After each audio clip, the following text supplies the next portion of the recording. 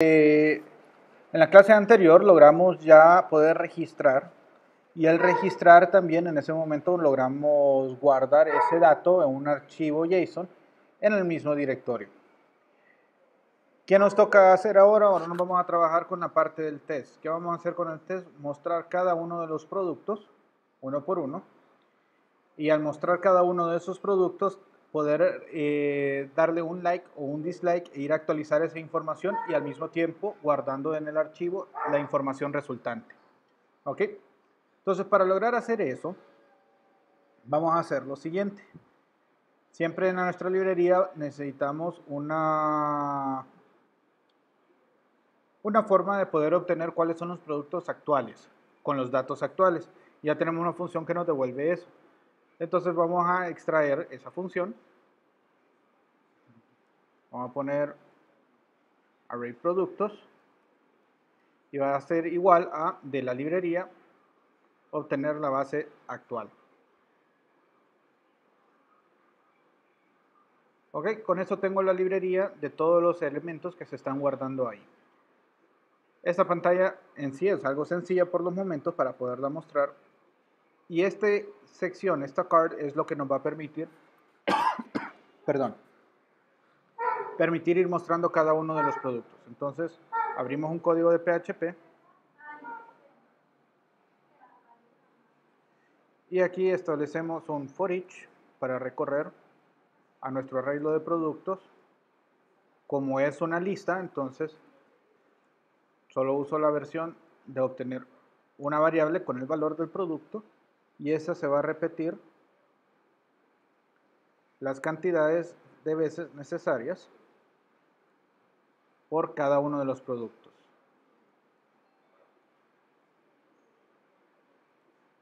Marquémoslo aquí para que se entienda. Ok. El nombre del producto, como lo vamos a incorporar? De forma simple, vamos a abrir el bloque PHP y vamos a hacerle un eco de producto y utilizamos la llave que corresponde al dato del, del producto. Esa llave corresponde a nombre, bueno, a la llave producto y likes y dislikes son otros elementos. ¿Ok? Vamos a hacer algo interesante en este punto, vamos a poder querer meter cuántos likes y cuántos dislikes hay registrados por cada producto, entonces igual vamos a aprovechar.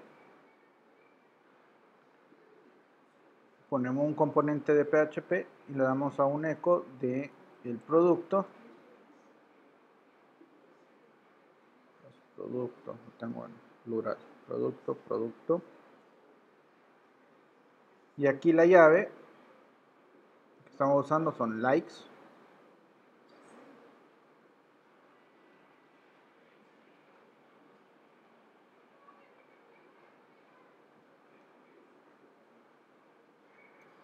Coma y copiamos este y lo pegamos en la parte de los dislikes y solo cambiamos el dato de dislikes.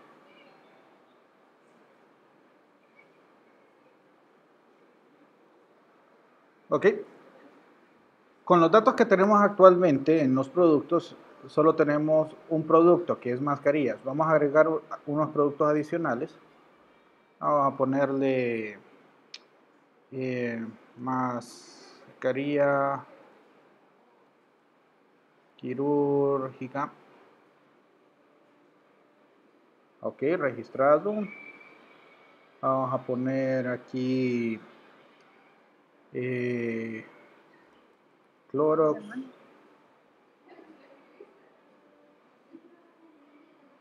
Vamos a poner Lysol. Ok, de esa forma, si se fijan, van agregándose elementos. Y ahorita tenemos tres productos, bueno, cuatro. Cuatro productos que se están guardando en nuestro archivo JSON. Lo voy a cerrar para no modificarlo de forma accidental. Entonces ahora vamos a ver qué es lo que sucedió en el test. Error, cannot use object standard class in array. Oh.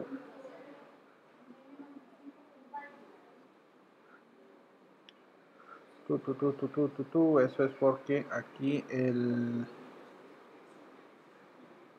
output contents, target contents, product JSON, JSON decode y aquí vamos a ponerle eh, a so que es igual a true.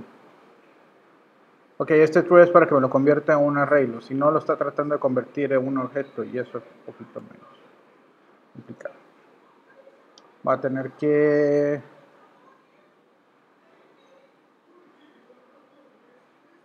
borrar la sección.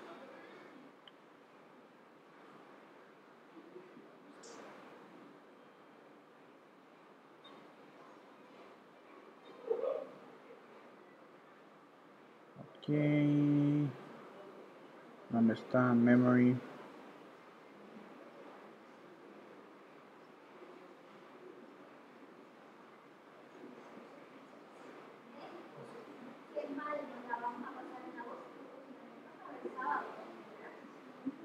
Cookies.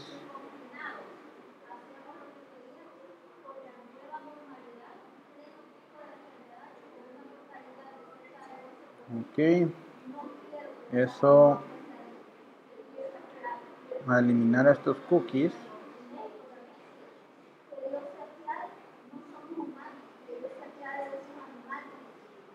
Ok y ahí observen ahí está la mascarilla la mascarilla quirúrgica el Clorox y el Lysol.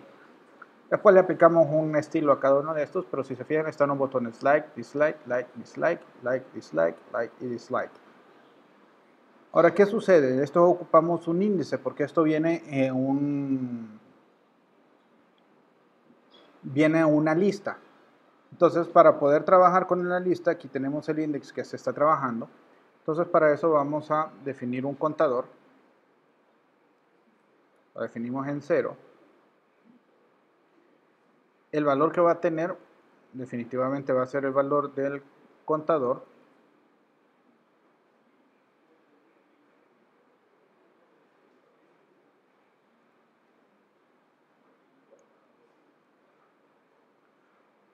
¿ok?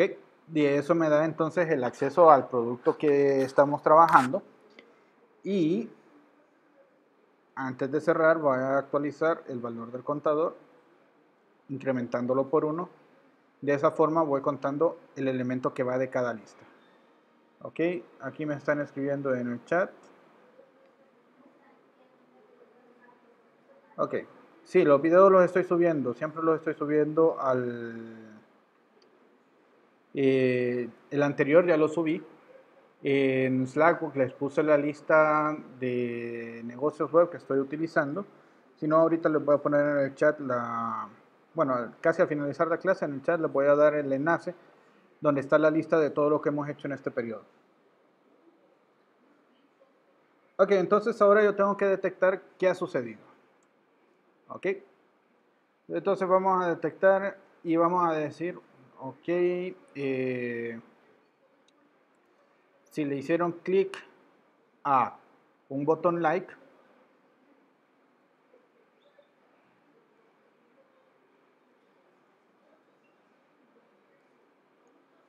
o si le hicieron un clic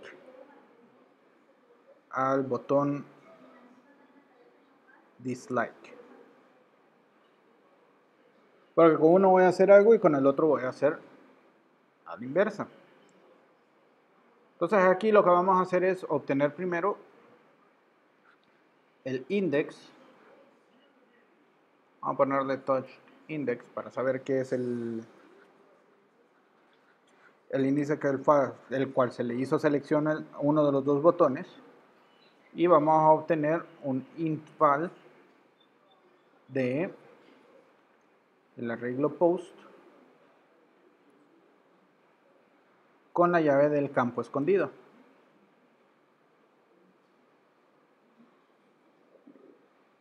Es int index. Esto es exactamente lo mismo para el siguiente, para el dislike. Y lo único que vamos a cambiar aquí es la actualización. Vamos a actualizar el arreglo para poderlo mandar a guardar. Entonces vamos a llamar, vamos a crear una función llamado add like. Le vamos a mandar el touch index. Y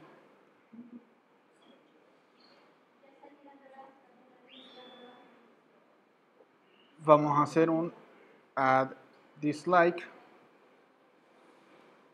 También que le vamos a mandar touch index. Ok eso lo vamos a agregar en la librería queremos agregar producto entonces vamos a crear una función add like que recibe el index. Entonces qué vamos a hacer primero obtenemos el arreglo.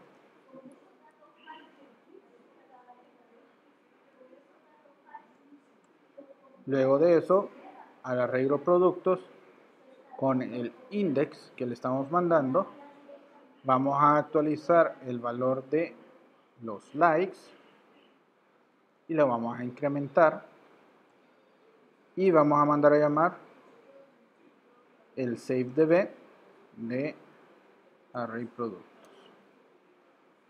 ¿Ok?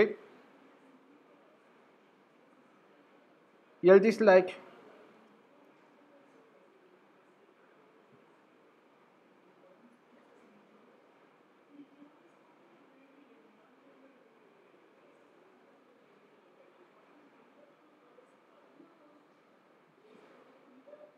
prácticamente es lo mismo. Lo único que cambia es la llave que estoy actualizando. ¿Hay alguna pregunta hasta aquí? Todo claro. Ok, vamos a ver. ¿Escribieron algo en el chat? No, no hay problema. Ahora vamos a irnos un poquito más allá. Esto modificó el arreglo y en el test estoy mostrando el arreglo, el original. Entonces vamos a actualizarlo y para eso vamos a retornar el array productos dentro de la función. ¿Por qué voy a retornar este array productos? Porque este array es un productos que ya tiene los valores modificados. Entonces aquí lo que voy a hacer en el test es de que array productos lo voy a actualizar con la nueva base de datos.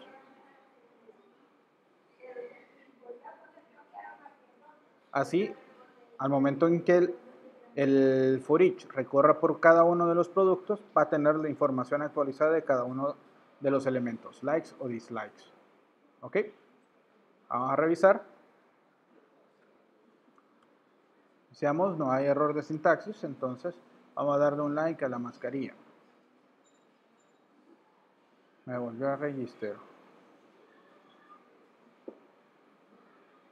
Oh, qué errorazo más grande. Ok, el action tiene que ser a la misma página. Eso me pasa por estar copiando y pegando. Ok, listo. Entonces le damos a like. Y observen, ya cambió a 1. Le damos a dislike al Clorox. También se estableció en 1. Un like al Clorox. Y solo se va modificando el índice del arreglo que yo estoy seleccionando. ¿Ok? Peguémosle una revisión al documento JSON y se observan los datos se están guardando directamente en el archivo de texto.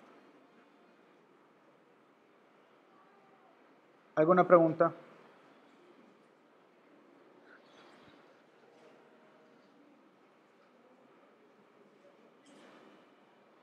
Ingeniero, esos archivos los va a subir, ¿verdad? Eh, ¿O solo va a subir el video? Solo subiré el video para que ustedes lo hagan. Ah, ok. Va a haber una tarea que les voy a poner en algo llamado GitHub Assignments para que ustedes puedan hacerla. Va a tener un código base, pero ustedes lo van a tener que te, van a tener que guardar, o sea, modificar y arreglar para cumplir con la asignación. Pero no es nada complicado realmente. Lo que les voy a poner de tarea solo para que tengan eh, algo con que practicar, porque esto necesita práctica. Eh, ok, ¿qué es el JSON? Nuevamente, JSON simplemente es una representación. Entonces, veamos algo. Voy a compartir ahorita una whiteboard. Ok. Para que tengamos una idea de lo que es un objeto JSON.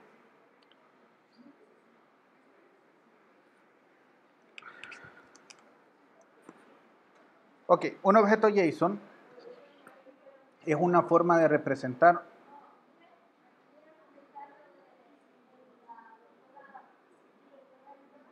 datos con una estructura.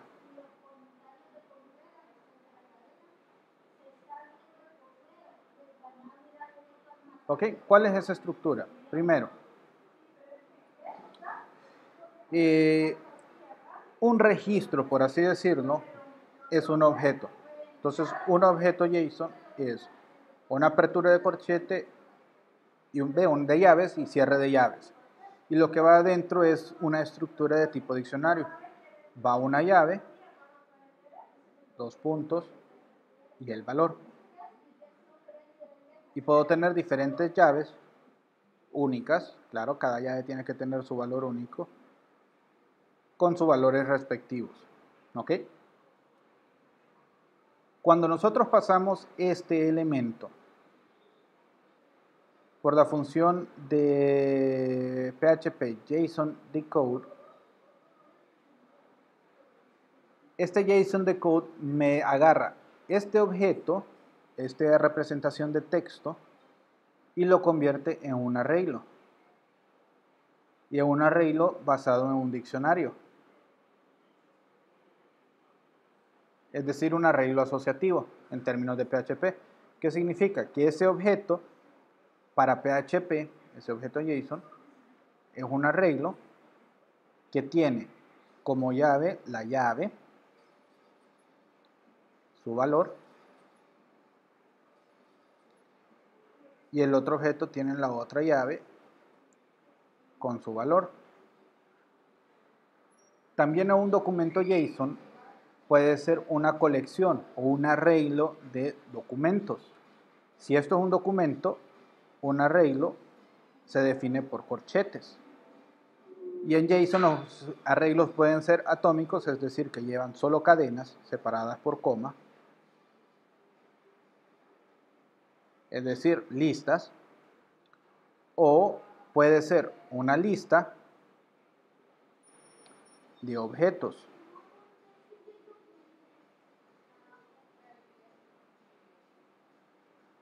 ¿Ok? Así como nosotros tenemos en PHP, nosotros en PHP estamos trabajando con un arreglo que corresponde a una lista. ¿Ok? Y ahorita tenemos cuatro o cinco arreglos metidos en esta lista. Este es el array productos. ¿Qué es lo que hay adentro de array productos? otro arreglo que tiene una llave llamado producto con un valor, un likes, que es la otra llave, con otro valor, y otra llave llamado dislikes, con otro valor. Entonces, este juego Este objeto, por cada producto que nosotros registramos, está metido en un arreglo. Entonces nosotros lo vemos como un arreglo de arreglo. Y cuando esto lo pasamos, este arreglo en PHP, lo pasamos por el JSON encode, simplemente es una fel representación de este arreglo. ¿Y cómo me lo representa? Con un arreglo, un objeto, una lista, que contiene varios diccionarios.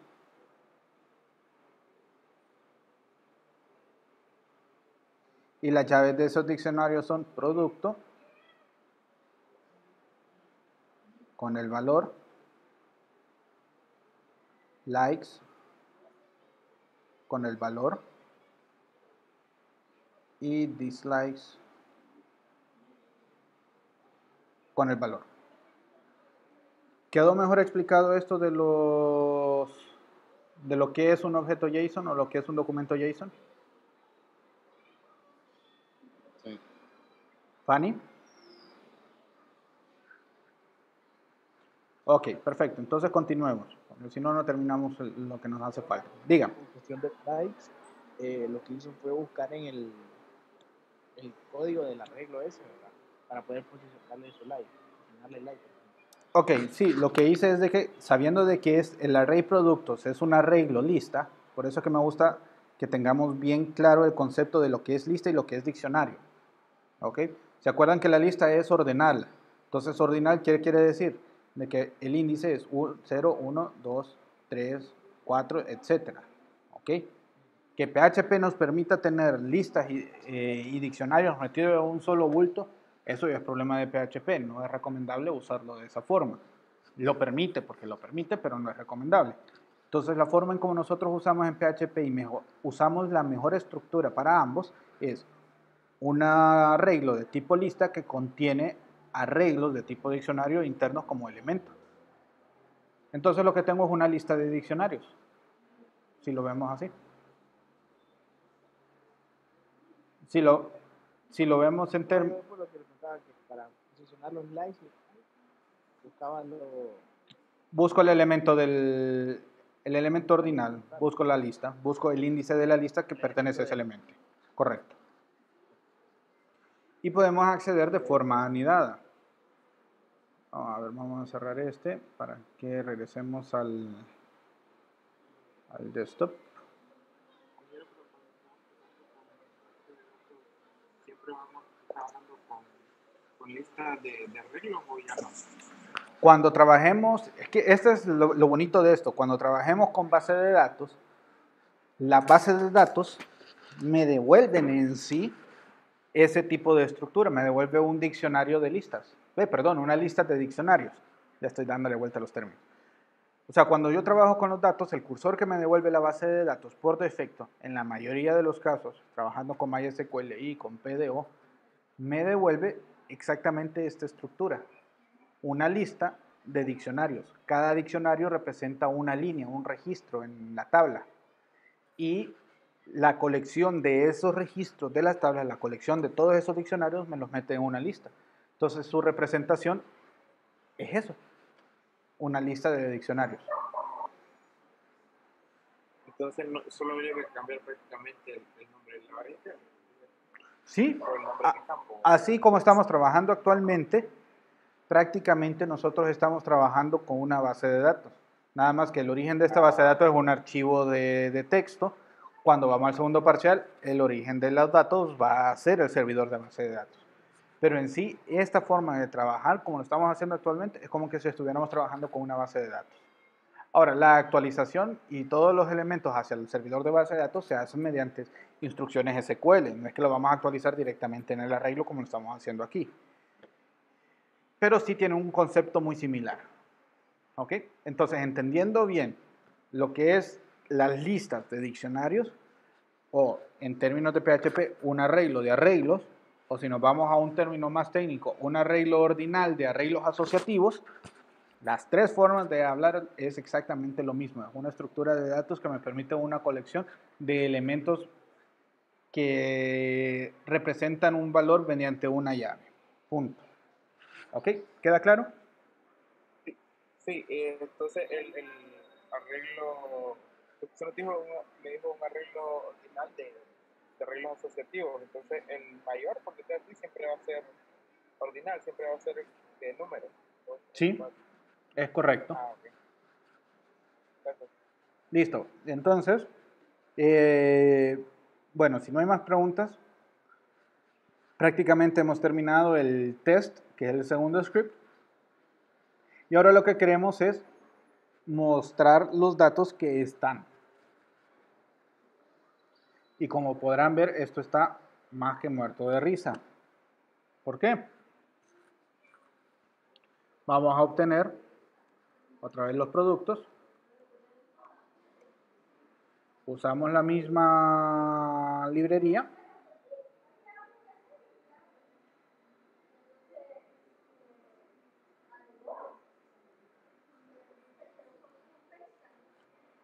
¿Ok?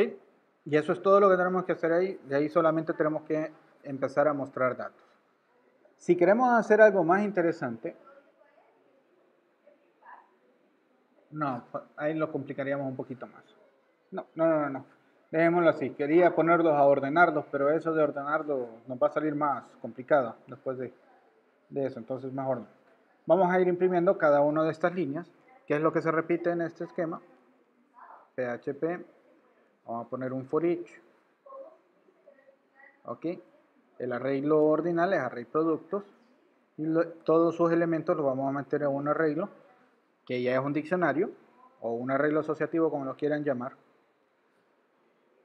llamado producto.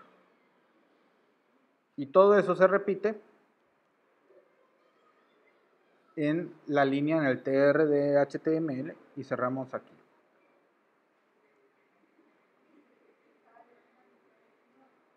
Yo, estoy, yo me acostumbro a poner ese comentario al final del cierre porque a veces tengo ciclos anidados y no sé qué llave cierra qué otro. Entonces, esa es una buena práctica siempre. Vamos a abrir PHP para hacer el eco, el arreglo asociativo o el diccionario de producto. Con la llave producto que me devuelve el nombre. Así lo estamos guardando. Luego voy a sacar la llave likes y la llave dislikes para mostrar los valores que están en ese registro, por así decirlo, en ese diccionario o en ese arreglo asociativo.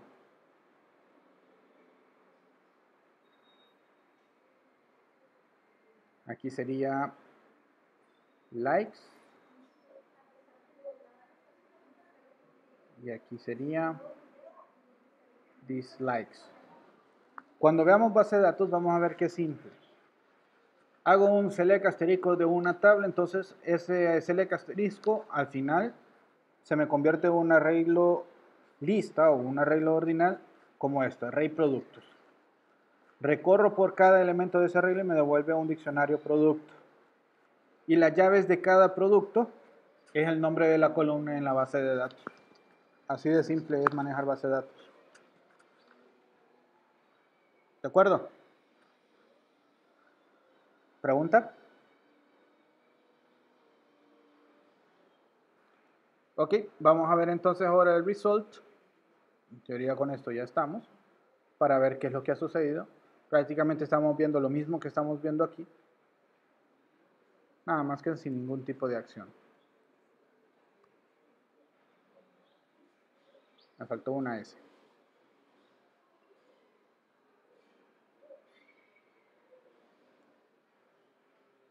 Y ahí está. Entonces tengo mascarillas, mascarillas quirúrgicas, Clorox Lysol, 310111 y 00 que son los datos que están guardados.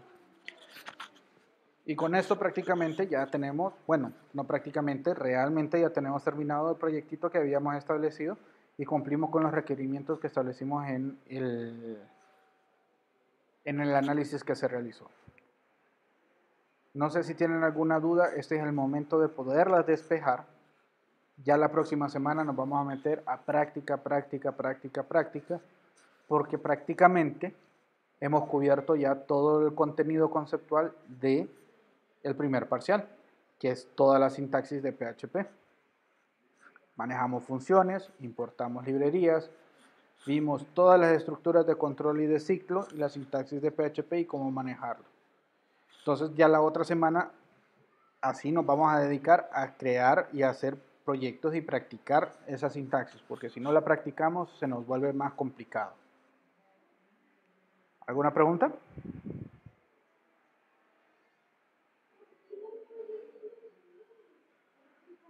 Primero, ¿esas son todas las funciones o seguiremos viendo más, más adelante?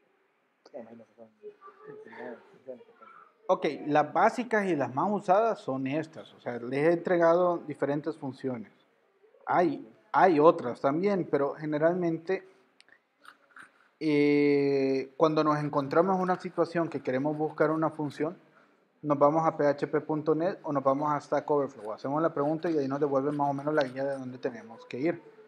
Porque hay funciones de shifting de bits, hay funciones de manejo de archivos, hay funciones de extraer eh, datos de texto específicos y extraerlos basándonos en un arreglo de expresiones regulares. O sea, hay N cantidad de elementos y de librerías que podemos utilizar. Ahorita utilizamos un archivo de texto, pero perfectamente esta misma librería que tenemos acá con muy poco, ya que encapsulamos todo en funciones, si yo quiero cambiar esta librería para que trabaje directamente con una base de datos, digamos una empotrada como SQLite, pues perfectamente. Y si necesito saber cuál es la variable requerida para manejar SQLite, abro php.net, ya les había mencionado que ese va a ser nuestro mejor amigo en PHP. Y la base de datos que yo ocupo es SQLite. Le escribo en la búsqueda. Y ahí está todo. Desde el momento de que hay instalación, no lo ocupan instalar porque ya los traen. Y ahí está SQLite Array Query, eh, Light Changes para ver cuánto fueron los que cambiados, cerrarlo, errores, abrir una factory para mantener una base de datos. El fetch all recorre por... Miren, hasta aquí ya salen los términos. Fetches, o sea, agarra todos los registros de un resultado, de un result set, como un arreglo de arreglos. ¿Qué estamos usando nosotros? Un arreglo de arreglos. ¿Ok? Fetch column times para obtener los tipos de datos. O sea, aquí está todo lo necesario para poder abrir base de datos de SQLite. No sé si tienen alguna otra pregunta. Diga. ¿qué, qué significa que una base de datos sea encontrada? Ok, eh, la mayoría de las bases de datos se trabajan a nivel de servidores. Yo tengo un servidor de Microsoft SQL Server instalado y me conecto con ese servidor para obtener y guardar datos. ¿Ok? En el caso de base de datos empotrados, no hay un servidor de base de datos, sino que la misma librería que se utiliza para abrir y cerrar hace la función de manejo de base de datos. Son bases de datos pequeñas, generalmente no se usan para producción. Pero en este caso, por ejemplo, SQLite, hay otro llamado Firebird, que es otro, o sea, otra base de datos empotrada. Está DB4S, que es otra base de datos empotradas. ¿Qué son estas bases de datos empotradas? simplemente son bases de datos que me permiten en un archivo con todas las ventajas de una base de datos relacional poder tener las funciones básicas de una base de datos. Entonces, va, se lo pongo así. Los que tienen iPhone, toda la información que se guarda del iPhone en su teléfono se guardan en base de datos SQLite. Son archivos. ¿Ok? Eh, los que tienen Android, también. Si tienen una base de datos guardada ahí, si tienen un registro, todos los mensajes que les han caído y todo eso, no se almacenan en una estructura de memoria o un archivo propio. Usan una base de datos empotrada llamada SQLite. ¿Por qué? Porque al tener una base, ser el esquema de una base de datos y mantener las mismas funcionalidades de una base de datos, la vuelve más rápida que una lectura secuencial de una base de datos en texto. O el hecho de que el celular no todo el tiempo va a tener conectividad a un servidor de base de datos. Y usted no puede instalar un servidor de base de datos en un celular. Entonces, para eso sirven las bases de datos empotradas. Eh, no sé si ustedes han llevado o van a llevar seminario de hardware. Si trabajan en sistemas, en IoTs, y trabajan en IoTs con esquemas de no conectividad, es decir, mi dispositivo en algún momento va a perder conectividad y en cuanto nomás obtenga conectividad, bombardeo el servicio con toda la información que capturé sin tener conectividad. Eso se le llaman offline applications. Entonces, ¿cómo manejo esa base de datos? Una empotrada que es simple, SQLite. Bueno, SQLite es la mayoría. Ustedes van a encontrar SQLite por todos lados. Esa es la diferencia entre una base de datos empotrada y un servidor de base de datos. Creo que le respondo eso. Pero... Solo nos sirve entonces para proyectos pequeños. Claro, sí. O sea, una base de datos así como SQLite no le va a aguantar a, si no tiene suficiente memoria en su máquina. Eh, el procesamiento definitivamente va a ser un poco más lento a medida vaya creciendo. Si usted tiene millones de registros en una SQLite, está teniendo millones de registros en un mismo archivo. Y el mismo sistema operativo va a generar problemas de paginación por eso, porque va a estar tratando de manejar sin perder, eh, sin tener fragmentaciones, la información dentro de ese archivo.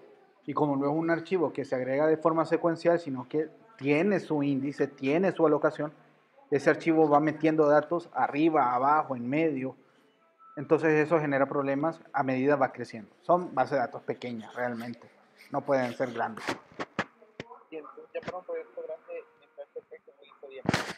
Una base de datos de servicio potente.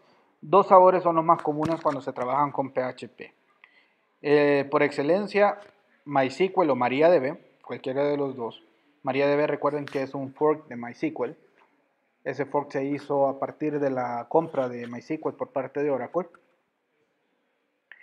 Y la otra base de datos por excelencia es PostgreSQL, que podría decir que es la alternativa similar a Oracle. Entonces, esas son las dos bases de datos que más se utilizan cuando se trabajan con PHP, MySQL o PostgreSQL. Se puede utilizar con cualquiera. He visto implementaciones de PHP conectándose a Microsoft SQL Server y funciona. No para mi agrado, pero funcionan bien. Eh, hay con Sybase, hay con Oracle. Y entonces todo eso se puede. Eso lo vamos a ver en el segundo parcial. Eh, hay una librería que se llama PDO que permite conectarse a diferentes tipos de base de datos usando una misma implementación, una misma interfaz. Entonces migrar de una base de datos a otra es muy sencillo. Y como nosotros vamos a trabajar un MVC que se ha venido desarrollando en clases durante los últimos seis años, ya tiene una muy buena madurez, eh, se tiene una capa de abstracción. Y esa capa de abstracción también ha ayudado a que las implementaciones que han hecho alumnos de ese mismo MVC que tenemos ya en las empresas eh, las hagan según la base de datos que se esté manejando. Por ejemplo, en Backredomatic eh, hay dos instancias de este MVC que nosotros vamos a ver, ir actualizando, que lo portaron para poder trabajar con Microsoft SQL Server. Y ahí está, y lo tienen funcionando. Y eso me lo llevaron a Costa Rica y no me dieron un 5 por él. Eh, también está puesto en en una empresa de un buro legal. Esa sí está en MariaDB. Tengo el conocimiento porque me llegó una solicitud de soporte desde Corea del Norte, no, Corea del Sur, perdón. De Corea del Sur, que tuve que pasar la pregunta por el traductor porque no entendía ni porra lo que me estaban diciendo. Y me establecen de que estaban usando eso con una base de datos que ellos tienen en Amazon Web Services, que no sé cómo se llama pero es una base de datos propia de Amazon Web Services y ya hicieron aportación a eso. Entonces, es simple. O sea, con PHP, conociendo el driver y teniendo el driver y una buena capa de abstracción, vuelve la programación de base de datos muy simple. ¿Ok? Por eso lo vamos a ver este segundo parcial, nos estamos adelantando mucho. Ok, entonces para terminar la clase, si no hay más preguntas de lo que acabamos de hacer, o sea, ya este es un proyectito que ya tiene la mayor parte de los componentes necesarios. Tiene un, eh, parte de presentación, ¿ok? Tiene la parte de la lógica del negocio, él me determina la validación de los datos, determina qué hacer y tenemos una librería que nos permite interfazar todos los elementos para poder manejar adecuadamente. Si se fijan desde la interfase, SafeDB nunca lo manejé, nunca lo mandé a llamar. ¿Por qué? Porque no me interesa salvar de la base de interfase. Me interesa que la base de datos se salve a medida haya acciones que modifiquen esa base de datos. Entonces ese encapsulamiento lo hace adecuado. Y la misma librería se utilizó en todos lados. Entonces esa es la, la ventaja. ¿Cuál va a ser la primera práctica para que vayan? Bueno, la tarea que les voy a dejar para empezar. Eh, algo similar, vamos a usar este código como de base, esta librería, más que todo para que tengamos la parte de, de cómo obtener la base de datos y cómo salvarla. Si se fijan es bien agnóstica, no, no tiene idea del contenido de la base, simplemente guarda y salva un archivo de texto. Entonces, estas funciones las vamos a manejar. Luego vamos a crear un algoritmo la otra semana para poder sacar de la base elementos que van a estar en selects, en combo boxes, en la parte del- de la interfaz de usuario. Van a ver qué sencillo es también. Y por último, eh, vamos a hacer una simulación de una... ¿Qué sería? ¿Qué podemos hacer? Ah, interesante, de un delivery de productos. Muy interesante, aquí por donde vivo, se pone un señor que viene de Nakaome a vender mariscos que les vendía antes a los restaurantes que están cerrados. Entonces, como ya no se los puede vender a los restaurantes, se pone ahí, se parquea y la gente le compra. Y hay gente de que lo manda, le dice, de que esperan hasta en la tarde, que ya va de salida, para que le reserve una cantidad y se lo va a dejar a la casa. Entonces, podemos simular un delivery de mariscos. Sería algo interesante. No sé si les parece. Sí, está bueno. Ok, entonces lo voy a apuntar para irlo preparando. Delivery de mariscos. Ok, entonces vamos a tener funciones que inicializan la base de datos si no existe. O sea, va a llenar con datos ya predefinidos, que eso es muy importante. Eh, vamos a guardar órdenes. Vamos a manejar diferentes archivos para esto, para que no se nos vaya a complicar un mismo archivo. Entonces, un archivo que va a tener la, la base de registros de los productos y otro archivo donde vamos a guardar las órdenes. ¿Ok? Y esas órdenes van a tener un- los datos del cliente, el producto y la cantidad. Y vamos a determinar si la cantidad es mayor a cero Eso va a, darnos la posibilidad de poder determinar qué, qué está pidiendo y el precio. Para darle un precio a la persona al momento y eh, darle un lugar donde se pueda seguir el orden de ese, de ese producto. Para que vayamos entrando en el concepto de un negocio. ¿Ok? Va a estar bonito eso. Eh, bueno, eh, estén atentos en Moodle. Por favor, revisen mañana en la mañana, en el transcurso de la mañana. Ahí les voy a dejar la asignación. Eh, esta asignación va a requerir de que ustedes tengan una cuenta de GitHub. Ahí les voy a dejar en el Moodle el enlace. Y cuando entren, van a tener que asociar su número de cuenta con esa con su cuenta de GitHub. Si no, no vamos a poder hacer mucho, ¿ok? No sé si tienen alguna otra pregunta antes de cerrar.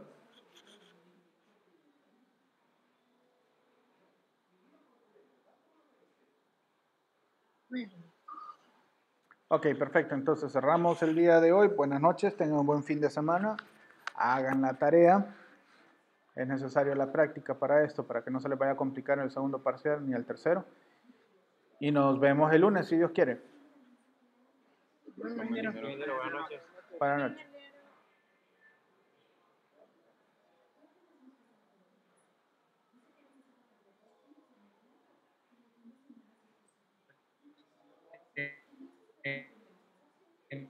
Ingeniero, buenas noches. Buenas noches.